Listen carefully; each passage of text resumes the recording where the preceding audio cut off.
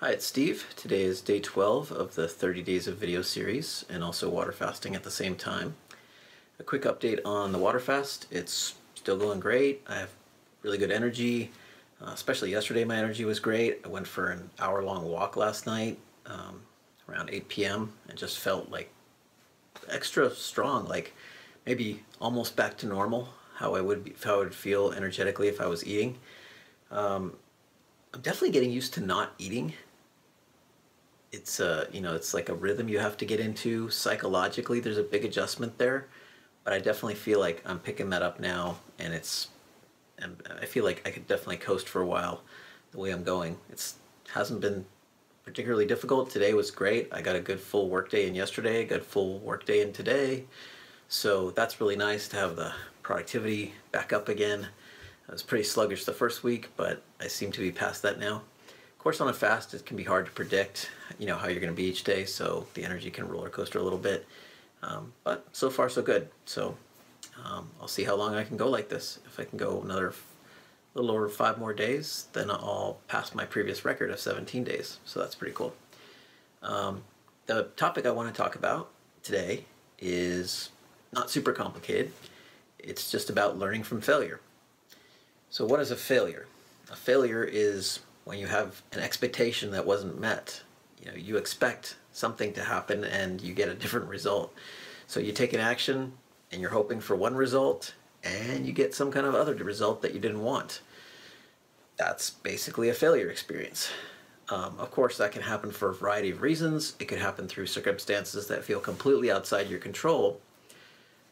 Uh, but if the failure was a big surprise to you, it means some for some reason your expectations are out of alignment with reality. And this is this is a real um, truth-based lesson here. Is is that you ultimately want to get your expectations closer into alignment with reality so that you can take the actions that will actually get the results you want instead of constantly being disappointed when you put a lot of effort into something and the result you get is dismal. um, so you basically have, you know, let's let's put it down to say three options you have for how to react to that kind of experience when you have a failure experience. Uh, option number one is that you can place the blame externally. You can make it somebody else's fault or the fault of the universe, the fault of your boss, your spouse, your kids, somebody else out there. Um, you know, somebody messed you up. Somebody tripped you up. Maybe they even did it on purpose. Sometimes that's not necessarily, you know, a bad way to start. um, but ultimately, it's a bit self defeating because um, if you start placing the blame externally, then you can't really grow through that experience and you can't really learn from it as well. You might just learn a, a really basic lesson of avoiding somebody who screwed you over uh, or who caused the failure. And, you know, that's okay, but you might be able to learn a broader lesson if you dive a little deeper. The second option is to blame yourself. So place the blame internally instead of externally. So that's when you start beating yourself up and putting yourself down and saying, you know, I suck and I'm no good at this and and all that does is just lower your self-esteem. That is uh, just a, a foolish option for the most part. And part of the reason is that our our brains are programmed by input, and all input is a form of programming. Anything that comes to you through your sensory experience, including the experiences you're generating internally, that helps to program your brain.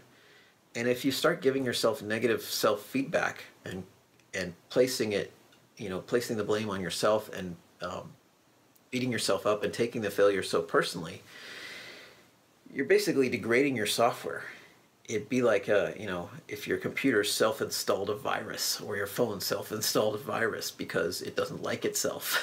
So it decides it's going to beat itself up and slow itself down on purpose. That that would make no sense. You obviously wouldn't want hardware that did that. Um, and that's essentially what you're doing to yourself when you start beating yourself up. The reason I, I don't engage in that behavior is that I just know it's it's it's a form of self-programming. And why on earth would I want to do that? How can that possibly help me? All that's going to do is hurt hurt me more. So it, it doesn't make any sense if you want to be intelligent to engage in that kind of behavior. Uh, so I tend to immediately turn to the third option, which is to find the disconnect between my expectations and the results I got. For some reason, I had an expectation that was out of alignment with, with reality. So instead of blaming myself, like the hardware of who I am, I, I look to the software, the programs, the mental programs that are running in my mind. And that's something I don't take so personally. I don't identify that as myself. It's just my, you know, it's just beliefs and thoughts and feelings uh, and so on. And that can be changed without me feeling like I'm, you know, gutting myself and changing who I am. So the, you know, the key here is to find out what was the cause. What, um, where did that, you know, expectation come from that got you so, you know, out of alignment with the way reality actually works? Uh, so I'll, I'll share a couple different examples from my life. They're not that complicated, um, you know, just to illustrate this. So uh, in 1999, I went bankrupt. In my first five years trying to get my computer games business running, I had the expectation that what I was doing, I was working very hard, um, would make money. and I thought it would lead to some kind of success. I thought it would get, you know, certain games published and they would be well received and I would get royalty checks on them from the publishers I was working with. And instead, that wasn't the result I got. The result I got was, um, you know, just having projects canceled basically. Um, and, and, you know, of course, that was very disappointing. It was a lot of hard work for very little results. I expected my in income to go up from what I was doing, and instead I just sank into debt and went bankrupt. So it was pretty much completely the opposite of what I expected. Now, I could have engaged in a period of like beating up the publishers I worked with and placing the blame on them. And to some extent, I did that. You know, I did indulge in that. Just, you know, like you get upset, of course. So I had that reaction phase. Um, I didn't indulge in the whole internal blame thing. I just, you know, for decades, I've considered that just a waste of time and effort. Um, but then I, I really spent some thought on, okay, where's the disconnect here? Why did I get this result when I was expecting the opposite? I've put in five years of hard work on this, and clearly something's not working. So I thought there must be something in my mental software that's off. Uh, and the, the culmination of that was when I got a notice tacked on my apartment door that said I had three days to move out because I hadn't paid the rent in a while. um, so that, that really sucked too. So I was, I was living in Marina Del Rey, California at the time, and I walked down, I went for a long walk along the beach and went down to the Santa Monica Pier and I sat down on the sand and I just said, okay, I'm gonna just sit on the sand here and think about this. And it was a beautiful day outside and the, you know, the kids were playing outside and uh, the ocean waves are crashing against the shore and there's seagulls flying overhead um, and I could smell the salty air. So it was a nice place to sit for a bit. Uh, and and uh, I just sat there for like two, three hours just pondering, how did I get to this point? Like what happened? What what mistake in, in, in my thinking did I make? And, you know, ultimately I thought, okay, well, it seemed like for me at least it was a mistake to work with publishers the way I was doing.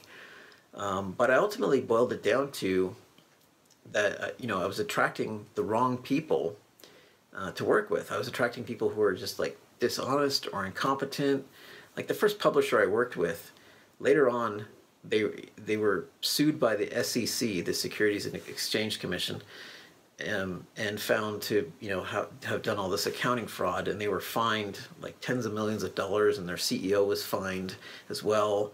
And I thought, yeah, well, that's no surprise to me, you know, given the kind of ethics I saw in that company. Um, but I thought, why did I why did I choose to work with that person? And I realized there were all these warning signs I avoided.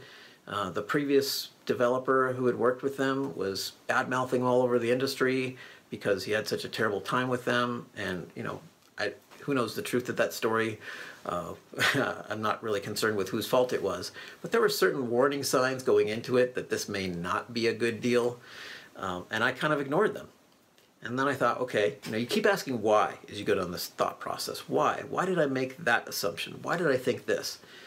And ultimately, when I traced it down far enough, I, I realized, you know, it came from the, the real problem was that I was focusing on the money. I was focusing on trying to make money and pursuing success. And I thought, you know what? I think that's what actually led me into the trap because I wasn't paying enough attention to other things. I wasn't paying enough, enough attention to my happiness, to the enjoyment of my work, to creating value for the player. I was trying to create value for the publisher too much.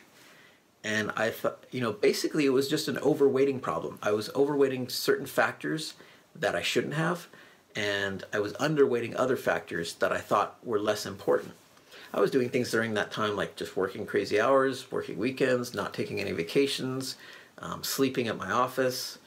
Um, I, you know, I, uh, Erin and I got married during that time. We got married in 1998, a year before the bankruptcy, and you know, it was just like so busy.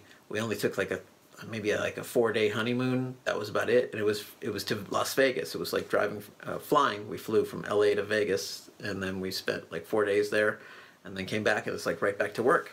So that was kind of you know like an unbalanced lifestyle to be sure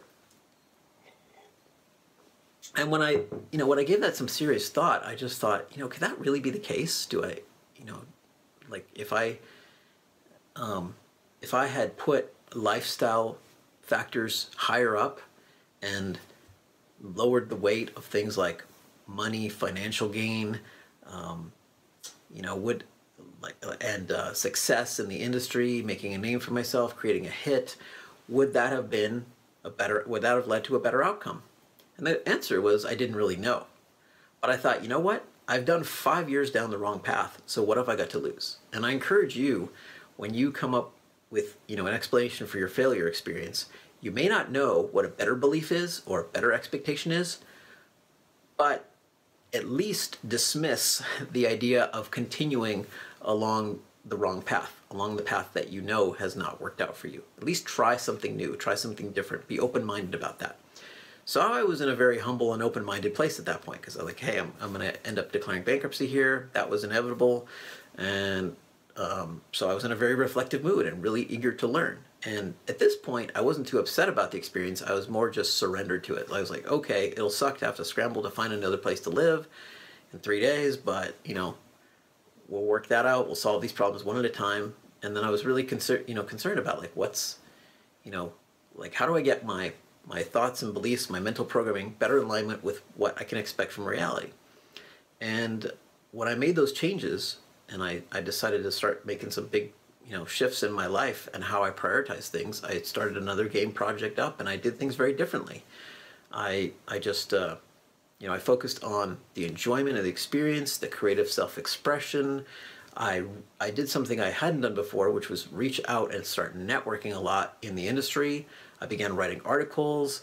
I began making more friends who are other game developers. I started volunteering in a trade association. I put so much emphasis on different areas that I was underweighting before. And I thought, okay, maybe that will lead to a better result. And sure enough, it did. Like, it was night and day. Just massive transformation. My business started doing well. The game I created won several awards. It did well financially. I enjoyed my life a lot more and you know I, I ran that business successfully for another five years without issue until I was interested in retiring by choice because I wanted to bet on something even bigger, uh, which was my personal growth business, which has been going well for the past 12 and a half years now. So, um, you know, getting that shift in my beliefs was really powerful. And if I placed the blame on other people, I probably would have stayed stuck where I was. And if I placed the blame on myself, that would have just sucked even more. um, so it's all about like finding where was that error in your thinking. You know, where where was that mistake? Um, another example. Uh, I got a divorce. Um, you know, Erin and I separated in 2009, and then you know, eventually got the divorce done after that.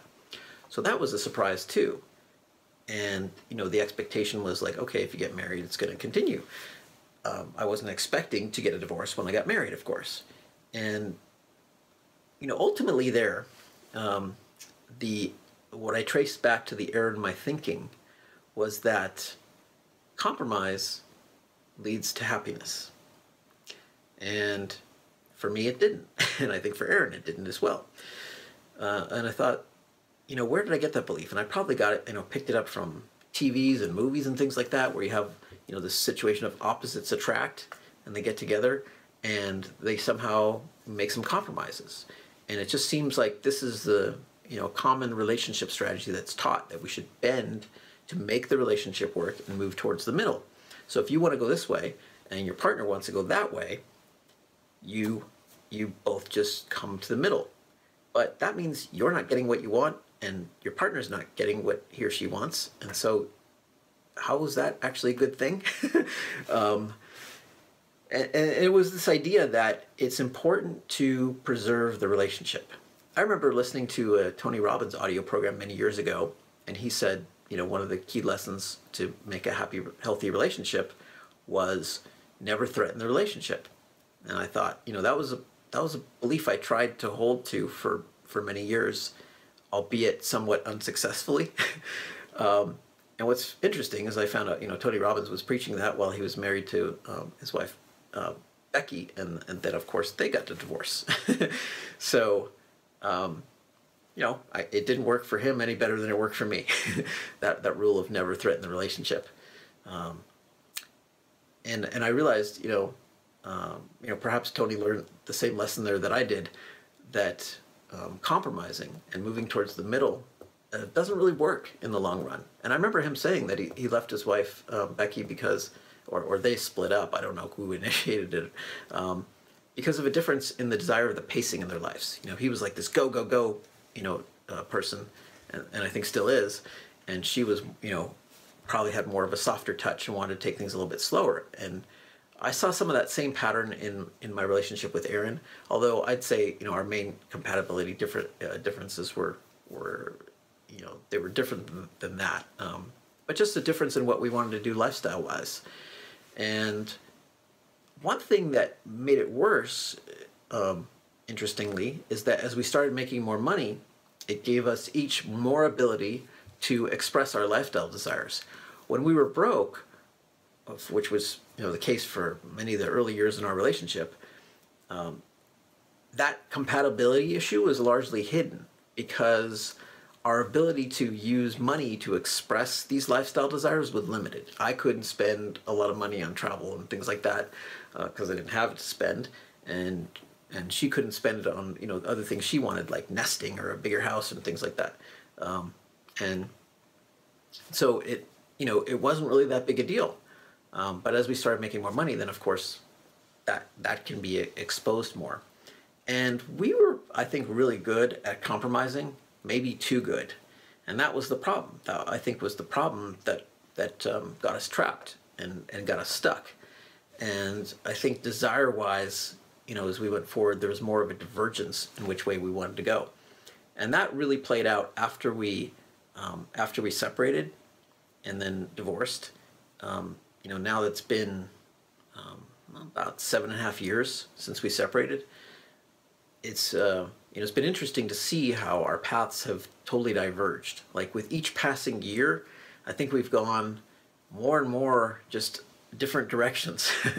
um, so it's like we were just you know tr- trying to pull too close to the middle, and and that wasn't working. And that was just like you know our expectations were out of alignment. This idea that that compromise leads to happiness just didn't serve us. Um, it it leads maybe to some sense of false security. It leads to staying in your comfort zone, but I really didn't see that it led to long term happiness and fulfillment.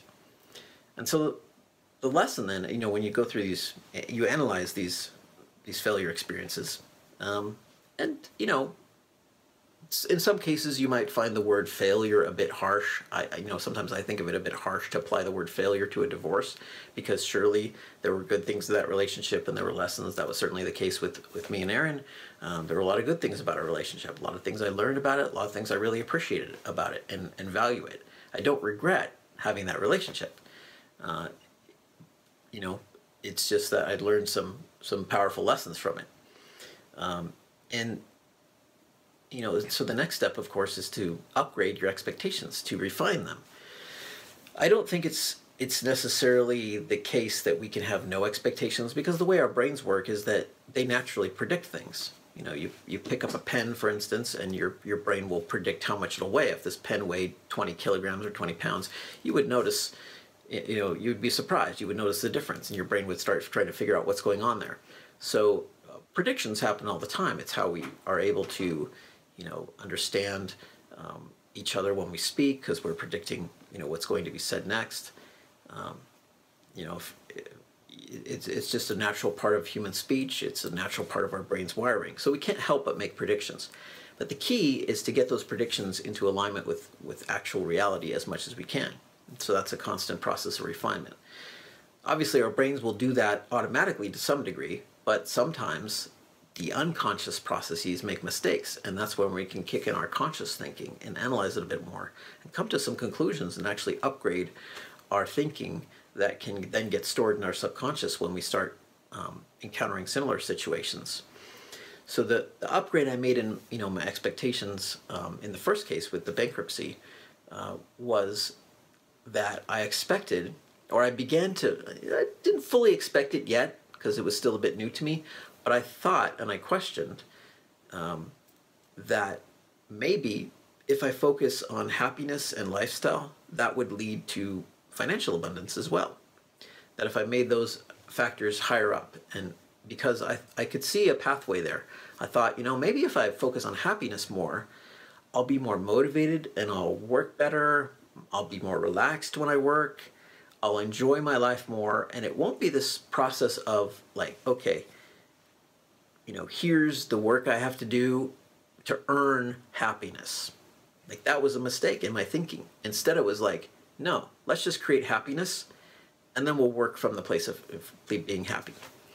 And, uh, and I remember um, Tony Robbins on one of his audio programs mentioning a similar lesson. So I think he probably figured out much the same thing. Um, I think he called it the difference between you know achieving um, to be happy versus happily achieving. So that's a that's kind of a cool lesson there, um, and that you know that mindset has served me well ever since. uh, since since 1999, it's been great. So that's the cool thing is when you make one of these adjustments, you can just you know sail and have all kinds of wonderful success experiences just because of that one little shift in your thinking. Um, in the in the second case, in the divorce, uh, you know the the upgrade I made there was that com- basically I, I, increased the weight of compatibility in my in my decision making about relationships. I realized compromise sucks in the long run.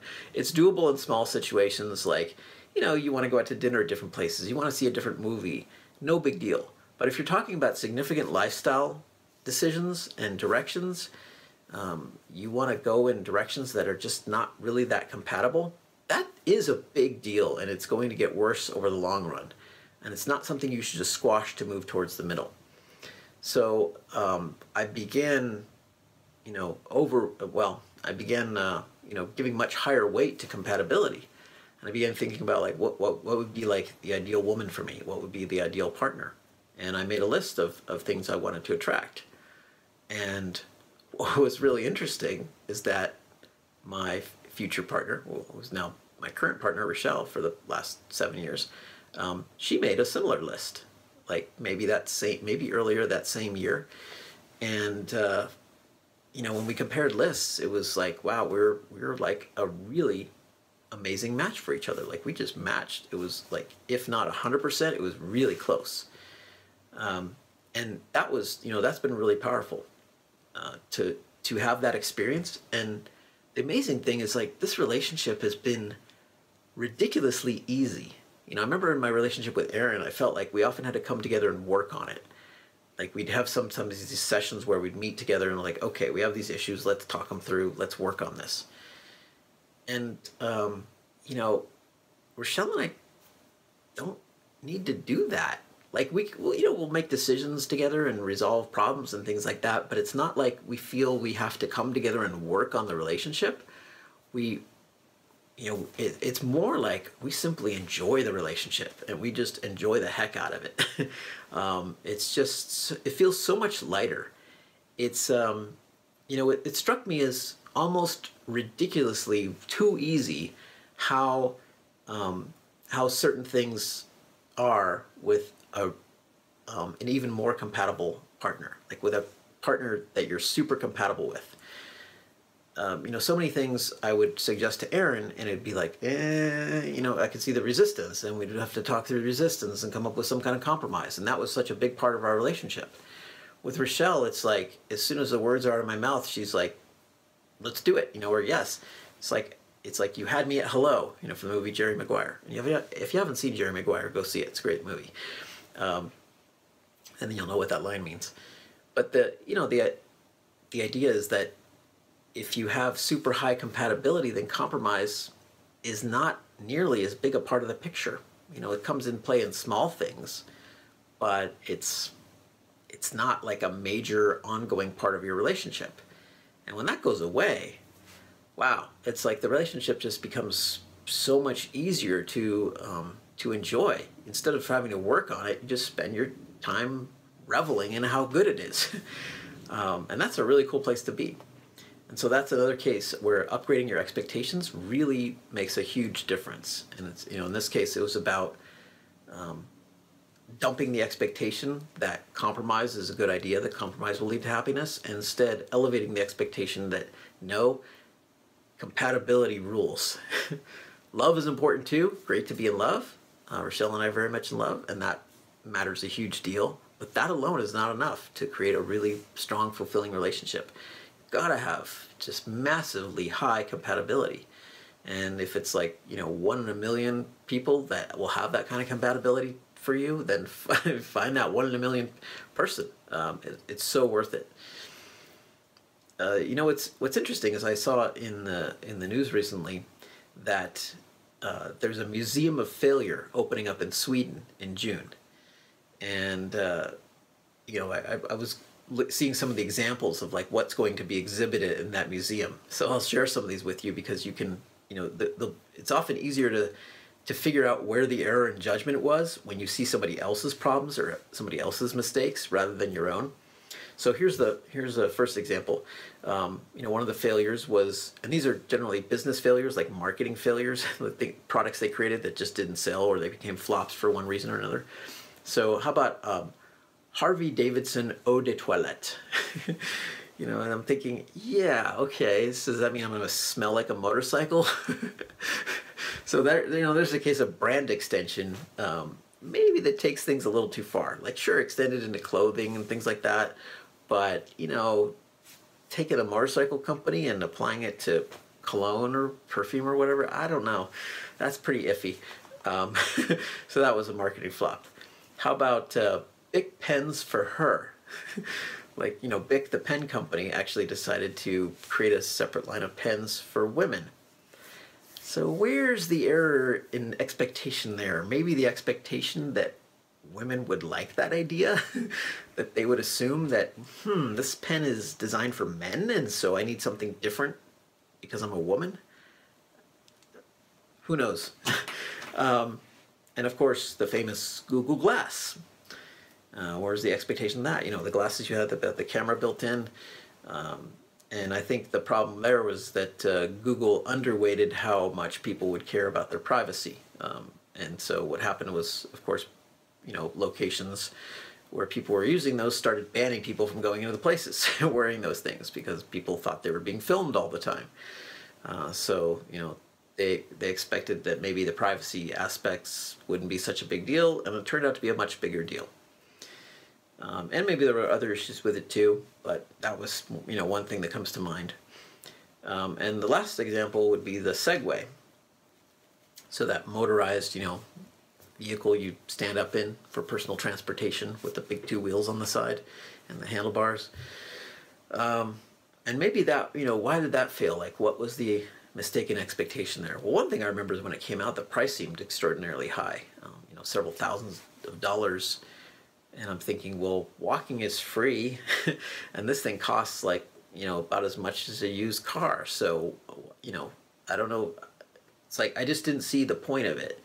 Um, it also, you know, when I thought about it, I thought, well, that just makes me feel lazy to need this wheeled vehicle to go all over the place. Another thing is that there's more, potentially more comfortable um, competition. Like you can get, you know, a wheeled scooter or something like that. I saw those all over Disneyland when I was there. Those uh, like wheeled scooter vehicles.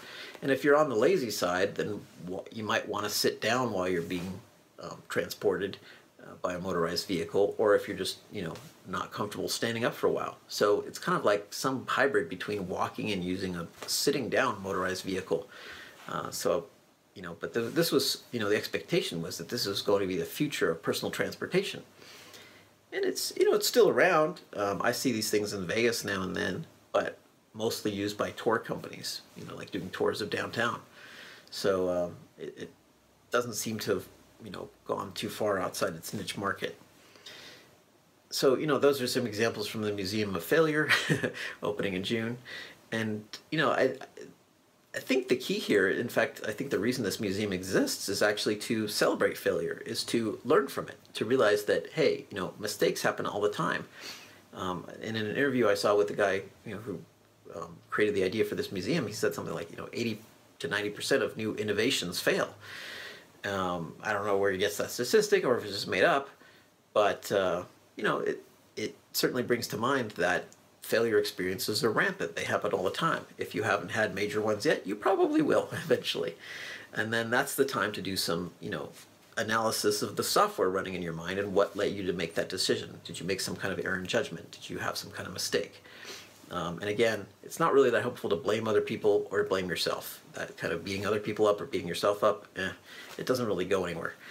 Um, in fact, it could just make you sick in the long run better to just think, okay, you know, let's look at this a little more objectively. Where was the error in my judgment? And you know, what expectation did I have that wasn't met?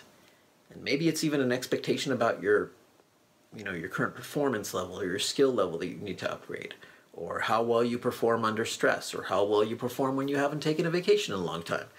Um, or you know how motivated you're going to feel under certain conditions. So you might have to upgrade some beliefs about yourself as well. But try to do that in as constructive a manner as possible. So I encourage you, you know, just to wrap this up, I encourage you to pick a failure experience from your life, especially one that's been bugging you for a while, um, or one you're currently dealing with, and um, you know, go through this process. Like identify, um, you know, it's really simple. Just identify, if you can, what that erroneous expectation was. Like, what did you actually expect, and um, you know, and how was that out of, out of alignment with what you actually got in terms of results? And then you know ask where you got that false expectation. Why did you believe that? Where did that come from? And keep asking why why why why why as you come up with answers until you can get to a root you know a core belief of some sort that that you think yeah this was the problem you know was it like i was overweighting um, uh, you know it's this factor or underweighting that factor and um, and then upgrade your expectations. Come up with a new expectation, or at least come up with a new expectation to test. You're not necessarily going to believe these new expectations right away, but the idea then is to explore that expectation, to test it, and start living your life by it and see what happens. See if it comes out to be a little more true than your old expectation. And of course, this is an ongoing long term process. You might go through many rounds of this, continuing to upgrade your expectations and refine them and that'll just make you a more intelligent person in the long run. And I definitely think it leads to greater happiness when what you expect to happen is more in alignment with, with reality itself. Um, it just means you're becoming more grounded in truth. You're, you, you know, you're getting a little smarter. That's a good thing. It'll, it'll certainly, in the long run, save you a lot of grief. I'll see you tomorrow.